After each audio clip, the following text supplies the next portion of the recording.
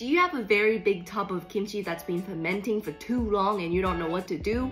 Well, let me help you. This is one of my absolute favorite meals, which is kimchi cold noodles. First, you want to drain the kimchi soup. It's gonna look like a crime scene in your sink, but that's okay, it's just kimchi. I'll put the ingredient list in the comments, but the amount of sugar and soy sauce you use should depend on how fermented and sour your kimchi is. Mine is very, very fermented, so I don't need to add too much soy sauce, but I do need a lot of sugar to balance out the sourness. I use Korean sommyeon, which is a little thicker than angel hair pasta, and after boiling, you want to give it a really good wash in the cold water and drain it well too. My lights ran out of battery, but the show must go on because I was hungry, and this is the best part about this meal. If you think the kimchi sauce you made is too salty, you can just add a little bit of it, and if you think it's not that salty, you can add more. For toppings, I added spring onion, really spicy chili, and sesame seeds with ice because it was a hot day. I drizzled on more sesame seed oil because too much sesame seed oil doesn't exist. Man, I could have this every day, but I'll see you tomorrow. Bye!